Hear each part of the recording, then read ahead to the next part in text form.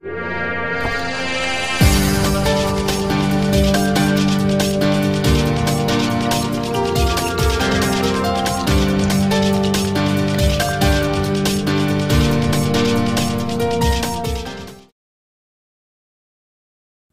Reddy Mittapalli YouTube ఛానల్కి స్వాగతం.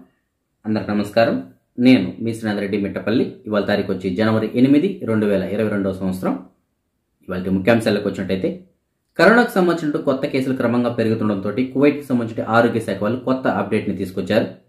ప్రస్తుతానికి బూస్టర్ డోస్ తీసుకోవాలంటే యాభై సంవత్సరాల కన్నా వయసు ఎక్కువ ఎవరికైతే ఉంటుందో అలాంటి వారు జాబర్ బ్రిడ్జ్ మిస్టర్ గ్రౌండ్స్ అలాగే Jleeb Al Shuyoukh youth centre ఏదైతే ఉందో అక్కడ మాత్రమే వాళ్ళకి అపాయింట్మెంట్ లేకుండా వ్యాక్సిన్స్ అందిస్తున్నారు. అయితే వీళ్ళు తీసుకొచ్చినట్టు కొత్త అప్డేట్ ప్రకారం యాభై సంవత్సరాల కన్నా వయసు ఎక్కువ ఎవరికైతే ఉంటుందో అలాంటి వారందరూ ముందస్తు అపాయింట్మెంట్ లేకపోయినా ఏ వ్యాక్సిన్ సెంటర్ దగ్గరికైనా సరే వెళ్ళు. ఆ- వ్యాక్సిన్ ఎదురుగా తీసుకోవచ్చు అని చెప్తున్నారు. అంటే మనం చెప్పినటువంటి జిల్లీ బాల్ష్వేక్ యూత్ సెంటర్ కానీ జాబర్ బ్రిడ్జ్ కానీ మిస్టర్ గ్రౌండ్ ఇవి కాకుండా కువైట్లో మిగతా ఏవైతే వ్యాక్సినేషన్ సెంటర్స్ ఉన్నాయి అంటే హెల్త్ సెంటర్స్ దగ్గర ఉన్నాయి కదా అలాంటి చోట్లైనా సరే వాళ్ళు ముందస్తు అపాయింట్మెంట్ లేకుండానే వెళ్ళి బూస్టర్ డోస్ తీసుకోవచ్చు అని చెప్పేసి చెప్తున్నారు. అయితే పదకొండు నుంచి యాభై సంవత్సరాల మధ్య వయసు కలిగిన వాళ్ళు కలిగినటువంటి వాళ్ళు ఎవరైతే ఉంటారో అలాంటి వారు మాత్రం తప్పనిసరిగా ముందస్తు అపాయింట్మెంట్ తీసుకోవాలి అని చెప్పేసి చెప్తున్నారు. అలాంటి వారు ఎవరైనా ఉంటే వాళ్ళు ముందుగానే ఆన్లైన్లో రిజిస్టర్ చేసుకోవాల్సి ఉంటుంది. ఆ రిజిస్ట్రేషన్ చేసుకోవడం కోసం లింక్ అయితే కనుక వీడియో కింద డిస్క్రిప్షన్లో ఇచ్చినాను. ఆ లింక్ ఓపెన్ చేసి సేమ్ అదేవిధంగా మీరు బూస్టర్ డోస్ రిజిస్టర్ చేసుకొని మీకు ఎప్పుడైతే మెసేజ్ వస్తుందో అప్పుడు వెళ్ళి మీరు బూస్టర్ డోస్ అయితే కనుక తీసుకోండి. ఎందుకంటే ఇప్పుడున్నటువంటి పరిస్థితుల్లో బూస్టర్ డోస్ ప్రాముఖ్యత కనుక చాలా ఎక్కువగా ఉంది. ఎందుకంటే ఒమిక్రాన్ కేసెస్ క్రమంగా పెరుగుతున్నాయి. ఒక కువైట్లోనే కాదు భారతదేశంలో కాదు ప్రపంచం మొత్తం మీద రోజువారీ కేసుల సంఖ్య ఎక్కువైపోతున్నాయి ఎక్కువ అయిపోతున్నాయి కాబట్టి తప్పనిసరిగా బూస్టర్ డోస్ తీసుకోవడానికి అర్హత కలిగిన వాళ్ళు ఎవరైతే ఉంటారో అలాంటి వారందరూ బూస్టర్ డోస్ తీసుకోండి. ఆరోగ్య శాఖ కూడా అదే కోరుకుంటుంది. కువైట్లో క్రమంగా కరోనాకు సంబంధించిన కొత్త కేసుల సంఖ్య పెరుగుతూ ఉండడంతో అలాగే ఉపాధ్యాయుల కొరత ఉండడంతో ప్రైవేటు పాఠశ పాఠశాలల యాజమాన్యం ఎవరైతే ఉంటారో అలాంటి వారందరూ ఒక మీటింగ్ని ఏర్పరచుకొని వీరందరూ విద్యాశాఖ యొక్క అనుమతితోటి రాబోయే ఆదివారం నుంచి ఒక వారం రోజుల పాటు ఆన్లైన్ క్లాసులు నిర్వహించబోతున్నట్టు చెబుతున్నారు. ఎందుకంటే ఈ న్యూ ఇయర్ సందర్భంగా చాలా మంది ఉపాధ్యాయులు వారి సొంత దేశాలకు వెళ్ళారు అయితే ఇప్పుడున్నటువంటి ఈ కరోనా కారణంగా కొన్ని కొత్త నిబంధనల కారణంగా వారు తిరిగి రాలేకపోతున్నారు. దీంతో ఉపాధ్యాయుల కొరత ఉంది అలాగే ప్రస్తుతానికి కొత్త కేసుల సంఖ్య కూడా చాలా ఎక్కువగా ఉన్నాయి. సో దీన్ని మనం తగ్గించాలంటే అలాగే ఈ ఉపాధ్యాయుల కొరత ఎదుర్కోవాలంటే ఆన్లైన్ క్లాసులు ఒకటే మార్గం అని వీళ్ళు నిర్ణయించుకొని ఆన్లైన్ క్లాసులు రేపు ఆదివారం నుంచి ఒక వారం రోజుల పాటు కొన్ని ప్రైవేట్ పాఠశాలలో మాత్రమే నిర్వహించబోతున్నారు. మిగతా పాఠశాలలు కూడా త్వరలో ఇదే విధంగా ఆన్లైన్ క్లాసులు నిర్వహించినా మనం ఆచరిపోవాల్సిన అవసరం లేదు. కువైట్లో ఎవరైనా సరే ఫింగర్స్ సంబంధించినటువంటి అపాయింట్మెంట్ తీసుకోవాలి అనేసి అంటే అది మనం చాలా కష్టపడి తీసుకోవాల్సి వస్తుంది. ప్రస్తుతానికి అపాయింట్మెంట్ చాలా తొందరగా దొరకట్లేదు. అయితే కువైట్కి సంబంధించిన ఎంఓఐ అంటే మినిస్టర్ ఆఫ్ ఇంటీరియర్ వాళ్ళు వారి యొక్క వెబ్సైట్ ఏదైతే ఉందో అంటే మినిస్టర్ ఆఫ్ ఇంటీరియర్ వెబ్సైట్ ఏదైతే ఉందో అందులో తొమ్మిదో తారీఖు అంటే రేపటి నుంచి ఈ ఫింగర్ ఫింగర్ ప్రింట్స్కి సంబంధించినటువంటి అపాయింట్మెంట్ సంబంధించిన లింక్ ప్రొవైడ్ చేస్తున్నట్టు వాళ్ళు తెలిపారు. కాబట్టి రేపటి నుంచి మనకి ఎంఓఐ వెబ్సైట్లోనే ఫింగర్ ప్రింట్స్ సంబంధించినటువంటి అపాయింట్మెంట్కి సంబంధించిన లింక్ అయితే మనకి అందుబాటులో ఉంటుంది. మన భారతదేశ ప్రభుత్వం భారతదేశంలో క్రమంగా కరోనా కేసుల సంఖ్య పెరుగుతున్నాయి అలాగే ఒమిక్రాన్ కేసుల సంఖ్య పెరుగుతున్నాయి రోజువారీ కేసుల సంఖ్య పెరుగుతుంది అలాగే రీసెంట్గానే ఇటలీ నుంచి పంజాబ్కి వచ్చిన ఒక చార్టర్డ్ ఫ్లైట్లో వచ్చిన సుమారు ఒక నూట ఇరవై ఐదు మందికి ఒకేసారి కరోనా పాజిటివ్ రావడంతో భారతదేశ ప్రభుత్వం బయట దేశాల నుంచి ఇండియాకి వచ్చేటువంటి వాళ్ళు ఎవరైతే ఉంటారో అలాంటి వారికి సంబంధించిన ఆరోగ్య నిబంధనలు ఏవైతే ఉంటాయో వాటిలో కొన్ని సడలింపులు చేసింది. ఈ సడలింపుల ప్రకారం ఈ నెల పదకొండో తారీఖు నుంచి ఎవరైతే బయట దేశాల నుంచి ఇండియాకి వస్తారో అంటే భారతదేశానికి వస్తారో అలాంటి వారు తప్పనిసరిగా ఇండియాలో ఒక ఏడు రోజులు హోమ్ క్వారంటైన్లో ఉండవలసి ఉంటుందని చెప్పి చెప్తున్నారు. దాంతోపాటు ఇంకో కొన్ని విషయాలు కూడా చెప్పారు.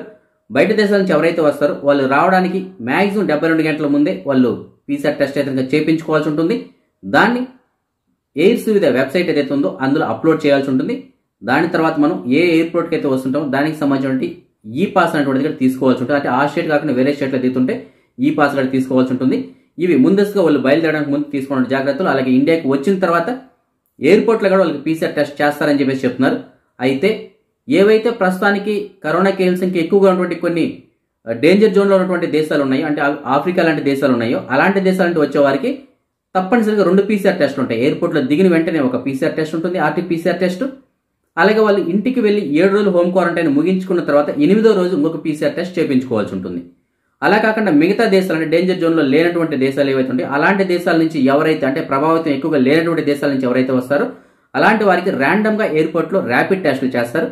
ఏడు రోజులు ఇల్లు గడక తప్పనిసరిగా హోమ్ క్వారంటైన్లో ఉండాల్సి ఉంటుంది. ఏడు రోజులు అయిపోయిన తర్వాత ఎనిమిదో రోజు తప్పనిసరిగా ఇల్లు ఆర్టీపీసీఆర్ టెస్ట్ అయితే చేయించుకోవాల్సి ఉంటుంది. సో ఈ విధంగా వీళ్ళు కొత్త నిబంధనలు తీసుకొచ్చారు. కాబట్టి బయట బయట దేశాల నుంచి ఇండియాకి ఎవరైతే ఈ నెల పదకొండో తారీఖు పైన వస్తారో వారు తప్పనిసరిగా ఏడు రోజులు హోమ్ క్వారంటైన్లో ఉండవలసి ఉంటుంది. అయితే ఇప్పుడు ప్రభావితం ఎక్కువగా ఉండే దేశాల నుంచి వచ్చిన వాళ్ళకైతే రెండు పీసీఆర్ టెస్ట్ ఉంటాయి. వచ్చిన రోజు ఒకటి ఎనిమిదో రోజు ఒకటి. ప్రభావితం లేనటువంటి దేశాల నుంచి ఎవరైతే వస్తారో వాళ్ళకి ర్యాండమ్గా టెస్టులు చేస్తారు ఎయిర్పోర్ట్లో.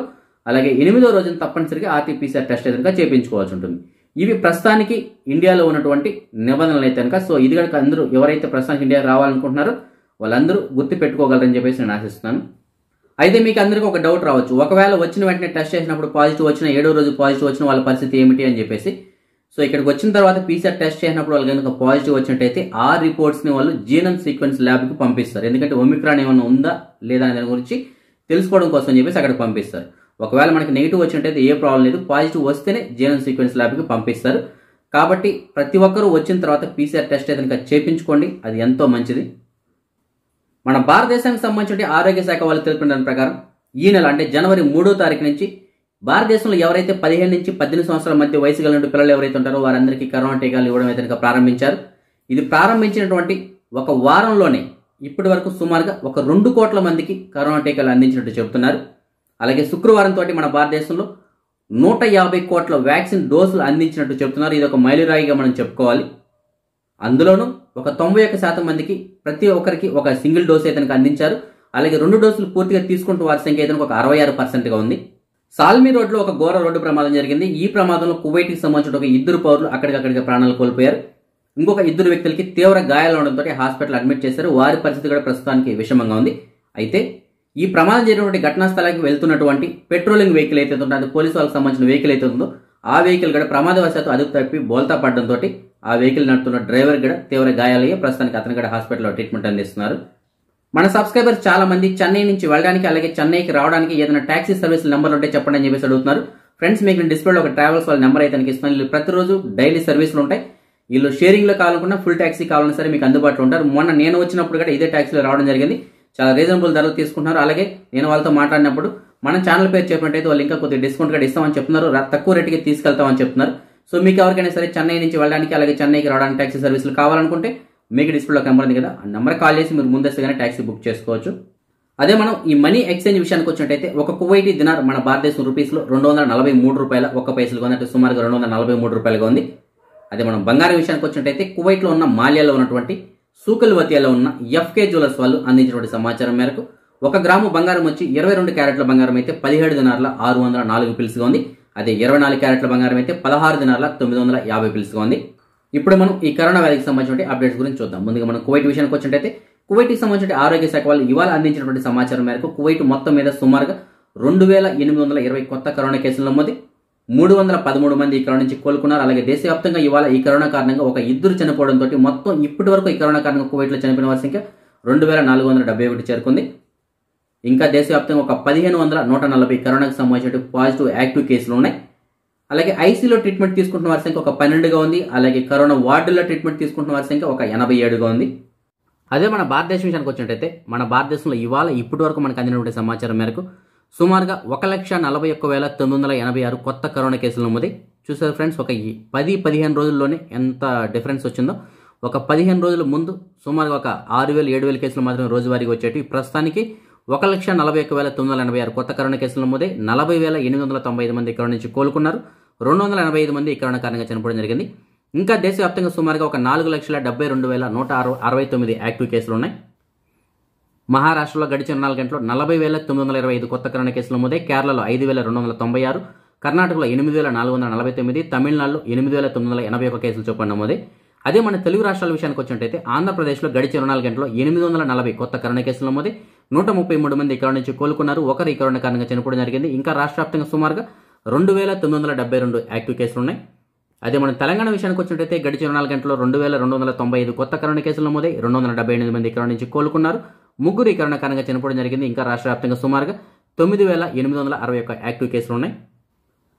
అదే మనం ప్రపంచవ్యాప్తంగా చూసుకున్నట్టయితే ప్రపంచవ్యాప్తంగా ఇప్పటివరకు సుమారుగా ముప్పై కోట్ల కరోనా కేసుల మూలకంగా అందులో ఇరవై ఐదు కోట్ల ఎనభై నాలుగు లక్షల మంది కరోనా నుంచి ఇప్పటివరకు కోలుకున్నారు. సుమారుగా యాభై నాలుగు లక్షల తొంభై తొమ్మిది వేల మంది కరోనా కారణంగా ఇప్పటివరకు చనిపోవడం జరిగింది.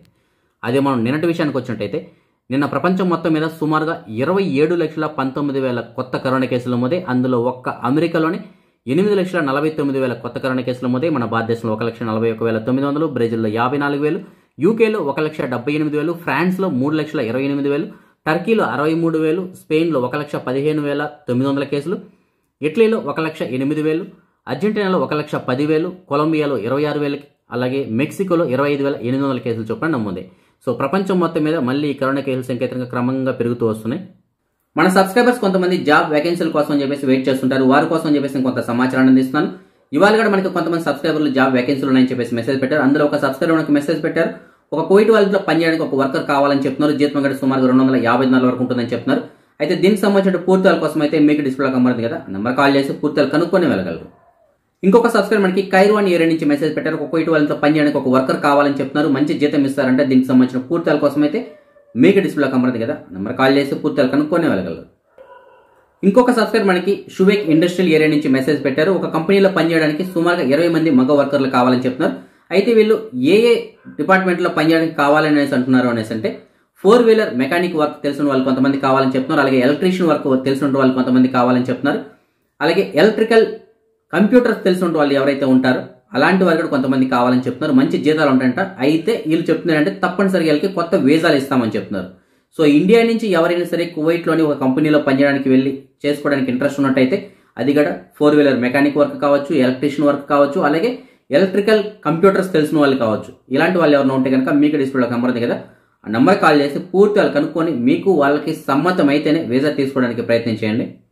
ఇవాళ మన సబ్స్క్రైబర్స్ యొక్క కొంతమంది పిల్లలు పుట్టినరోజు జరుపుకుంటున్నారు. అందులో తరుణ్ తేజ ఇవాళ పుట్టినరోజు జరుపుకుంటున్నాడు. మరియు లోహిత ఇవాళ పుట్టినరోజు జరుపుకోవడం జరుగుతుంది. వీరిద్దరికి నా తరపున అలాగే మన ఛానల్ సబ్స్క్రైబర్స్ అందరి తరపున పుట్టినరోజు శుభాకాంక్షలు. ఇంకా ఎవరైనా మన సబ్స్క్రైబర్స్ యొక్క పిల్లలు వాళ్ళ పుట్టినరోజు జరుపుకుంటుంటే వారికి కూడా నా తరపున పుట్టినరోజు శుభాకాంక్షలు. ఇవి ఫ్రెండ్స్ ఇవాళ అప్డేట్స్ రేపు రాత్రి తొమ్మిది గంటలకు వచ్చే వీడియోలో మరిన్ని అప్డేట్స్ కలుసుకుందాం. అంతవరకు సెలవు. జై హింద్.